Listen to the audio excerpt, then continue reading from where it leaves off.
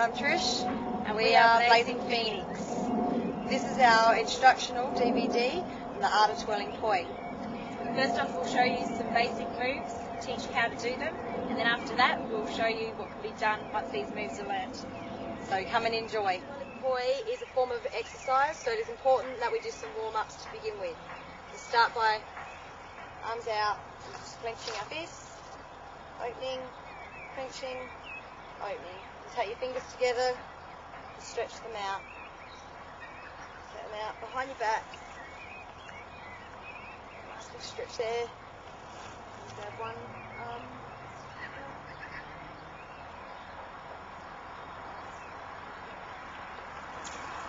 Just some little circles. Just nice big circles.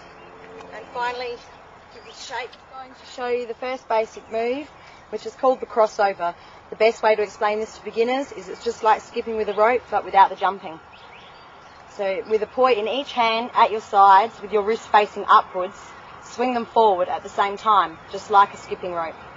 Try and keep them parallel to your body, and this will avoid them hitting you when you cross them. Keep a steady pace. When you have the poi swinging at the same time, and you feel confident, you can cross them in front of your body. Your wrists will face in a downwards direction as you cross them, and your arms will cross in front of you and then uncross to bring them back to your side again. When you do this, your wrists will face upwards again as you bring them out. Now try crossing above your head, and if you stop and swing the poi the other way, you can cross behind your back too.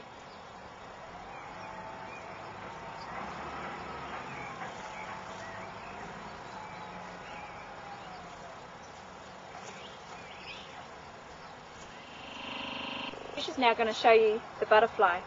The butterfly is a little harder but once mastered is the basis for many other moves. Start with the poi in front of you so that your wrists are together. Stretch your arms out as you swing the poi in a large circle, bringing your hands back together in front of you. Your wrist should face upwards and one hand needs to be slightly forward but up from the other hand.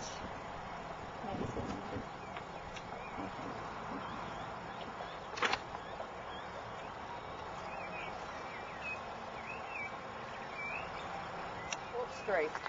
To start this, you put both the poi on the same side of your body with your hands together. Now swing them around your, over your head and then back to make a horizontal circle in front of you. Now as the poi swing to the front of the circle, bring your right hand away from your left and swing the poi back up over your head in a circular motion. Follow it with your left hand not far behind. Continue swinging the poi above your head, then down in front of you. It should create a figure eight type motion to keep the circles try to keep the circles horizontal to the ground. Once the poi is swinging correctly, your hands should stay as close together as possible in a chasing motion. You can try moving in a circle with it.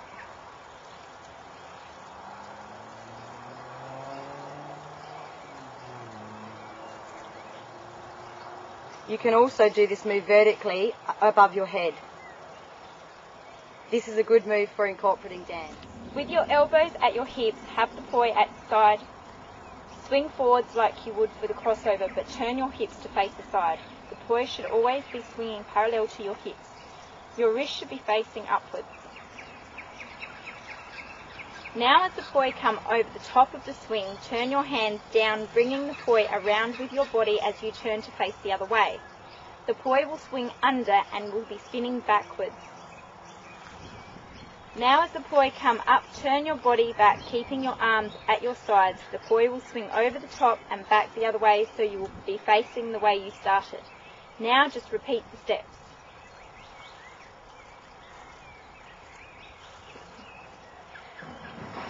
From spinning forwards, the poi should swing under as you turn. Then from spinning backwards, the poi will swing over as you turn, thus giving the over-under effect.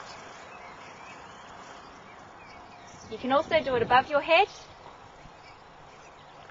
And you can also turn. How did you go with that? If you enjoyed that and are confident to try some more, watch further and we'll show you some other moves that you can try and do. This is the figure eight.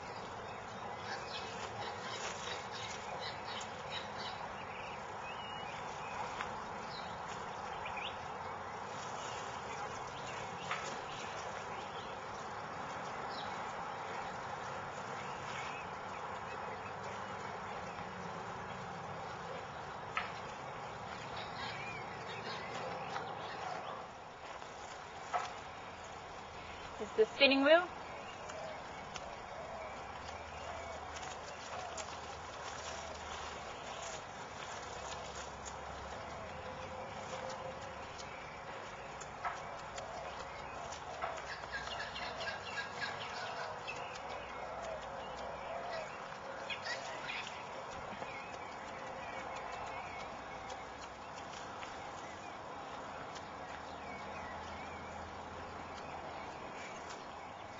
The helicopter.